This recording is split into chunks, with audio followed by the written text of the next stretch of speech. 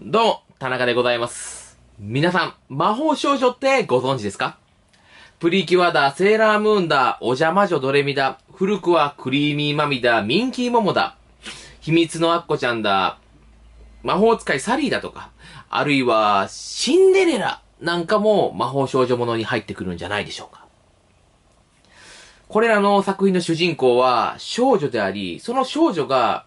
とある問題を解決するために、ある何かに変身して解決するというストーリーラインになります。つまり、少女のままでは解決できない問題を、少女ではない何かに変身して解決させる。つまり、少女から見れば憧れの何かに変身することになる。つまり、女の子の変身願望を叶えた作品、それが魔法少女ものであると言っていいんじゃないでしょうかね。うん。男の子であればヒーローものになってくると思います。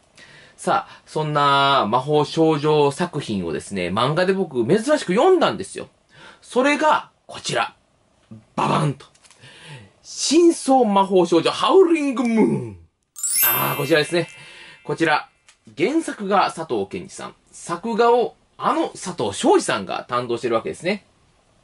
僕、佐藤昌司さんがすごい好きなんで買ったわけなんですけども、原作付き大丈夫かなと不安にも思ってました。ところが読んでみるとね、めちゃくちゃ佐藤昌司さんと合うんですよ。佐藤昌司さんの悪ノリ感とか、女の子の魅力っていうものが、このハウリングムーンだったらめちゃくちゃ生きるんです。今、佐藤昌司さんが書いているトリアージいくつよりも、多分、佐藤昌司さんをもっともっと活かしているのはこのハウリングムーンだと思いますね。はい。そんな、真相魔法少女ハウリングムーン今から紹介させてもらおうと思います。その紹介するにあたって、ちょっともう少し魔法少女のお話をしなければいけません。で、その魔法少女の話も聞いてられないですよとか、まあいつもの田中さんの長ったるしい、前振りなんでしょってことで、まあ、聞くのがね、絶えない方もおられると思うんですけども、よろしければしばしお時間いただけたらと思います。はい、ということで、こちら、ハウリングムーン、紹介する前に、魔法少女の話、もうちょっとね、させてもらいます。まず、魔法少女作品には、3つパターンがあると思うんですよ。1つ目が、普通に女の子が地球で生活しています。そんな女の子に、魔女の使いだとか、魔法の国の言葉というものが届いて、そこから魔法使いになる道具を授かる。そして、自分たちの生活の中でその魔法の力を使って、身近な問題を少し解決していったりするというようなタイプの物語。これは、例えば、お邪魔女ドレミだとか、秘密のアッコちゃんだとか、こういったのがそのタイプになりますよね。次に、もともと魔法使いの国にいた女の子が、地球という国にやってきて、バーっと、普通の女の子として生活していく魔法少女もの。これは、ミンキーモモだとか、えー姫ちゃんのリボンなんかもそうだなと思いますね。さらに、次三つ目ですね。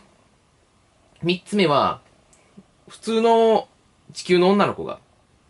魔女の使いによって、あなたは運命の戦士なのと言って、急に魔法少女にさせられ、そして完全な悪と戦う。という、このパターン、セーラームーンだとか、プリキュア、このパターンですね。うん。これが、魔法少女という作品の3つ大まかなパターンだと思うんですよ。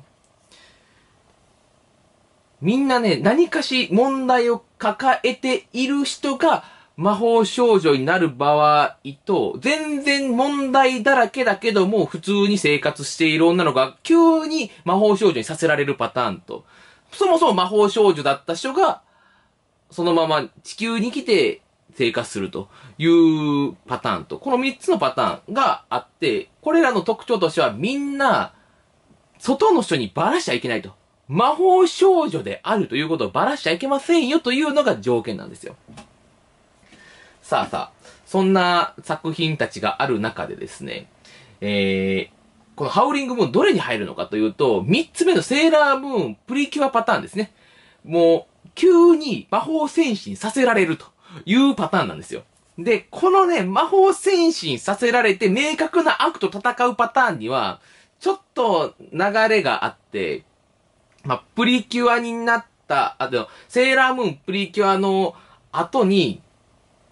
えー、マドカマギカっていう作品があって、このマドカマギカで、魔法少女ものの、またもう一つのね、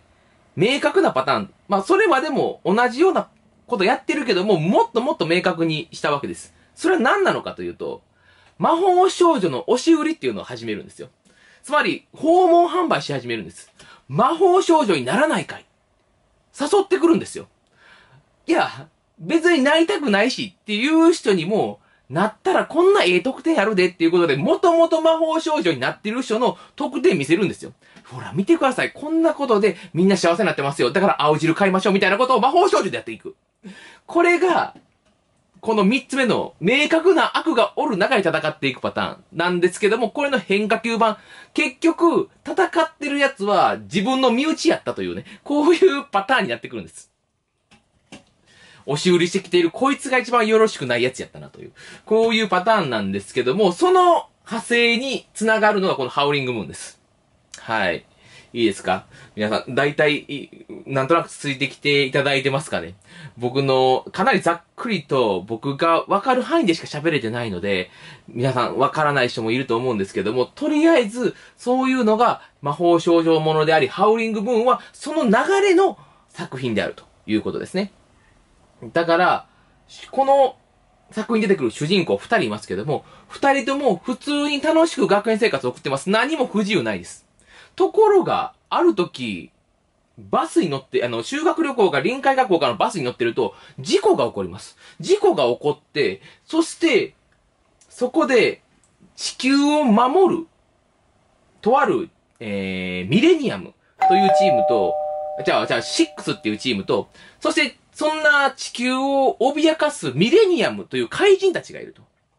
で、そのミレニアムに襲われたんだってことで、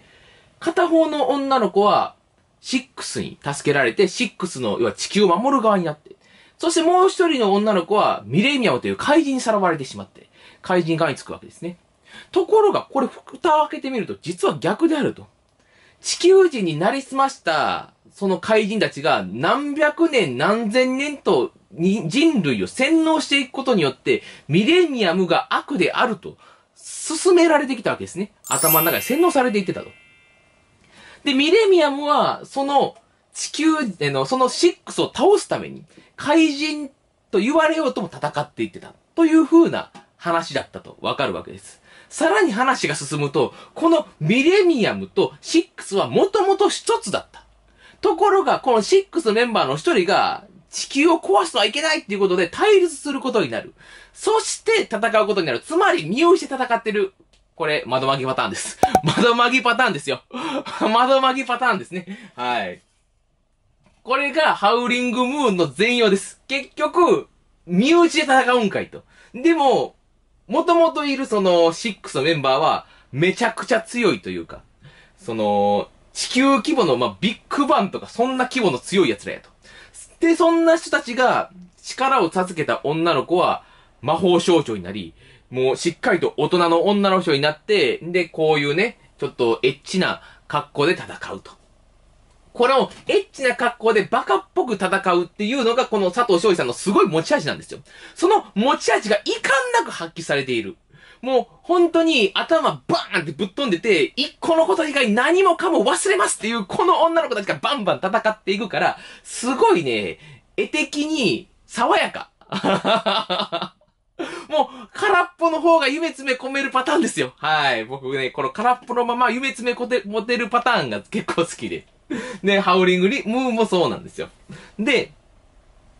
そんな空っぽなままで進むわけでもなく、ともちろん魔法少女ですから、その自分がこのままでいいのかなっていろんなね、魔法少女になったがゆえに、自分のその力を使うがゆえに考えるというところになってくるわけなんですけども、うん。この作品、今言ったようなのが僕が好きなところです。で、えっ、ー、と、少女っていうものが、悩みを持っていないこともあるということで、話が進んでいくところが、僕やっぱりいいよねと思うわけです。90年代ぐらいまでは、コンプレックスがあるがゆえに、変身を強要されたとしてもね、伝説の勇者なんだと、例え女の子が言われたとしても、そんな今の自分が嫌だからちょっと変わりたいなという気持ちで動いていただろうなと読みながら思える部分はあったものの、もう2000年超えて2010年前後の窓まぎぐらいにはもう完全に普通の今の生活でそんな問題ないでっていう女の子たちに魔法少女になってもらわな困ると。全体的に魔法少女減ってんねみたいな形で こう押し売りするというこのパターンになっていってるのが面白いんですよ。だから、例えば、男の子に告白したいけども勇気も出ないのとか、今、父親が、父親と母親が離婚しそうでどうのこうのっていう、そういった身近なね、ちょっと問題っていうもの、ちょっと重たいような問題が、ないんですよ。なんもない。なんもなくて普通に楽しんでる中で、そんな事件に強制的に巻き込まれるというのが僕はね、面白いですね。うん。もうそうせざるを得ねんなっていう感じがね。やっぱ時代とともに魔法少女のあり方も変わってきてるというところですね。まあもちろん、えー、そうでないパターンもあるんですけども、こういった作品が出てくるということが、新たな魔法少女ものの確率がね、もうしっかりとされてきたんだなと思ったりするところなんですけど、皆さんはどう思われるでしょうか？はい。ということでですね、まあ、このハウリングムーン、もう少しだけちょっと、えー、お話しさせてもらうとですね、この佐藤翔司さんの、高慢な女の子、少女から大人になったそのムチムチ加減の裸の女の人もパンパン出てきます。えー、特に最後の方にですね、真相真理の話だった時に全裸になると。この、真相真理だから全裸になる。不思議じゃないですよね。やっぱ自分をさらけ出すってことは裸になるってことですから、ここで裸になるのいいんですよ。で、そこで触手とか使い始めるから佐藤翔司さん悪ノリってなるんですけど、その悪ノリがいいよねって僕は思ってるわけです。それそれ佐藤翔司さんっていうね。でも、おっぱいぽよんよんよんよんってすっごいね、こう、お椀型がお椀型の、ここら辺のね、鎖骨をしっかりと見せるというのが佐藤昌司さんスタイルというかね、あのー、このお椀型のおっぱいを描かれる方の特徴です。お椀型が好きな人はですね、この、さこ、こ、こですね、こう、おっぱいやったらここら辺の骨がしっかりと見えている方がセクシーに見える。なんかこう色っぽく見えるっていうのがあるんですよ。きっとそんなとこに一発パンチもらったら折れるでってなるんですけども、女の子のスタイルとしてそういう弱点が見えてるところも込みでね、なんか色っぽく、エロく感じたりすると思います。それを必ず佐藤翔さん書いてくれてて、今回も書いてくれてるからいいなと。で、目のな、で、バカでもぶっ飛んでる人は必ず目の中に星があるっていうのが決まってるんですよ。こういう佐藤翔司さんパターンでもあるし、アニメとか見てても目の中に星があるやつは大概頭おかしいです。で、それがあって、僕は、もう、ああ、もう佐藤翔司さんが書くべき作品やなと。本当に今書いてるトリアージ X よりもはるかにこの佐藤翔司さんに合った作品、ハウリングムーン。皆さんまだ読んでなかったらね、僕は、こういったバカ乗りで、こういったキャラクターですね。もう下品な、下品だけど、まあ一応品のあるようなね。一応ギリギリな制服してますよ。ギリギリな。このおっぱいのところにね、羽があるっていうのはギリギリだと思います。うん、可愛いけど、見る人によってはギリギリやでっていうね、その感じが、僕はなかなか攻めてていいなと思いましたね。はい。ということで、こちら、真相魔法少女、ハウリングムーン、田中は面白いということで、おすすめさせてもらいます。ただ、読む人はきっと選ぶ。そんな、バカバカしい、漫画なんて読みたくないよそんな作品ばっかり見たら頭溶けちゃうよっていう方はね、まあ読まないようにしてもらいたいと思います。でもそんなバカバカしくて、しかもおっぱいが見れて、しかもかなり綺麗でね、ああ、ほんと佐藤昌司さんのおっぱいは本当にどんどんどんどん卓越してて読み応えあるなと僕は思うので、おすすめしたいと思う次第ですね。はい。ということで、今回はこちら、原作佐藤健二さん、作画を佐藤昌司さんが担当される、真相魔法少女ハウリングムーンの紹介をさせてもらいました。もしよろしければ買ってみてもらったらと思います。はい。まだ1巻ですからね、買いやすいんじゃないでしょうか。はい。では本日はこの辺で。またねー